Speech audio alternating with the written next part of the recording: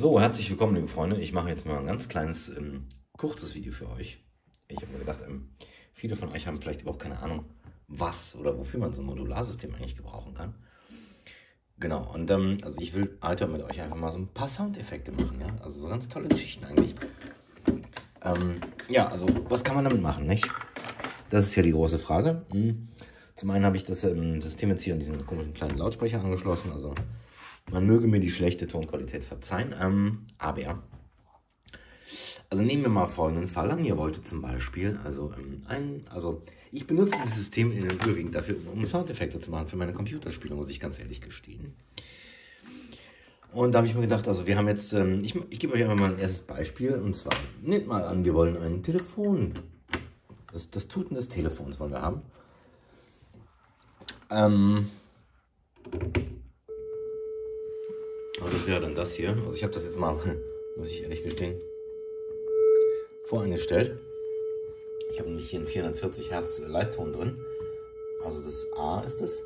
Und das ist zufällig der Ton, den das Telefon benutzt. Dann kann ich den hier einstellen und dann kann ich hier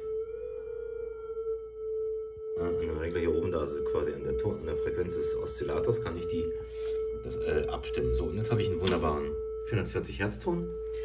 Ist jetzt noch nicht so wahnsinnig spektakulär, aber worum es jetzt geht, wenn ich jetzt nämlich hingehe und folgendes tue, ich gehe nämlich mit dem Output hier einfach in einen VCA rein. Ein VCA ist ein Voltage Controlled Amplifier. Das heißt, eigentlich ist es ein ja, Verstärker ist vielleicht das falsche Wort, aber ist ein Element, ein Bauteil, was es mir erlaubt, das Signal dorthin durchzuschleifen und durch eine externe Spannung, wie die zum Beispiel in einer Hüllkurve, einer Envelope, die eben einen Spannungsverlauf erzeugt. Ähm, so flimmert das ja nicht. So ist viel besser, gell? So ohne Flimmern ist noch viel geiler. Ähm, die erzeugt einen Spannungsverlauf, steuert damit den VCA und was rauskommt ist folgendes. Ähm, dann kann ich nämlich hingehen, einfach das Signal von dem hier rein, dann raus aus dem VCA gehe ich in meinen kleinen Mixer hier, ja, da hinten rechts unten. Ja, da hier so, das ist ein kleines Mini-Mischpult. Und dann kann ich jetzt schon mal hier nichts machen, weil ich noch was vergessen habe. Genau, und dann gehe ich mit dem, mit dem Hüllkurvengenerator hier oben aus und gehe damit in den äh, Eingang, in den Steuereingang des VCAs hier unten. Ja? Und dann kann ich, ja, ich habe dann hier so einen kleinen Knopf in der Envelope, jetzt kann ich, ja, wunderbar. Ne? Also jetzt kann ich damit diesen, dieses ähm, Geräusch erzeugen. Was ganz nett ist an der Geschichte, ich habe jetzt hier unten zum Beispiel einen LFO, einen Low Frequency Oscillator, ja, der ist ein Oszillator, der ganz langsam schwingt. Der geht allerdings fast bis in den hörbaren Bereich, muss man dazu sagen. Dann nämlich schnappe ich mir den Ausgang, stelle das Ding hier auf ein Rechteck. Ja, also ich habe den hier auf ein Rechteck gestellt. Und ähm, geht damit in das Gate der Envelope. Das ist der Steuereingang. Also da kommt im Prinzip mein Gate rein. Und jetzt könnte man hören, was passiert. Telefon, geil, oder? Ja, also tutet schon mal das Telefon.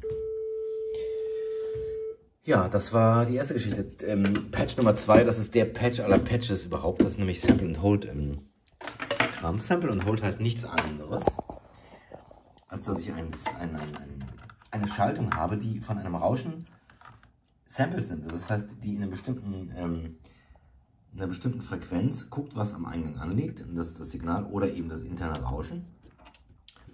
Und das gibt die dann aus. Und das Ganze hört sich dann so an. Also ich gehe nochmal, ich nehme hier nochmal noch meinen ich brauche diesmal keine Envelope, ich gehe einfach erstmal in den Mixer rein. So, ne? Jetzt habe ich hier diesen Ton, den wir von eben kennen.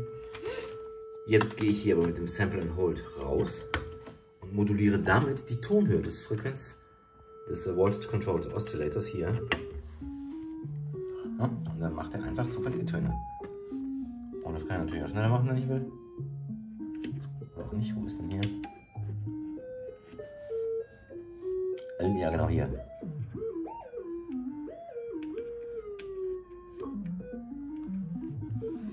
Ja, also da kann man halt zum Beispiel sowas machen.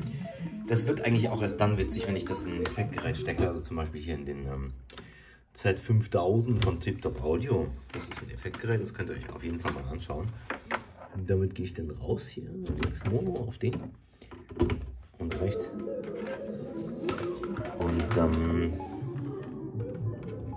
dann hier auch rechts raus aus dem. Meine Zeit ist gleich aufgebraucht, aber wir verlängern ein bisschen. So. so. Und das Ganze kann ich jetzt dann einfach so ein bisschen ins Reverb verschleifen. Und drehe einfach die Frequenz noch ein bisschen höher.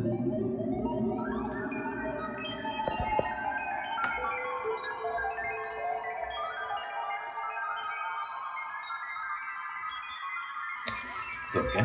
Also jetzt haben wir hier ein schönes Sample and Hold Geklinker. Ich finde es super.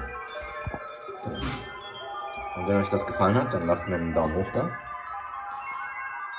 Ihr könnt mich auch abonnieren, da würde ich mich auch sehr darüber freuen. Genau, und äh, vielleicht gibt es ja nächste Woche noch, nein, nächste Woche nicht, doch nächste Woche gibt es dann vielleicht noch eine Folge. Genau. Oder schreibt mir da einfach in die Kommentare, was ihr denn mal sehen wollt, was ich dann mache. Und äh, genau. Vielleicht hat es dem einen oder anderen ein bisschen Inspiration gegeben. Bis bald. Tschüss.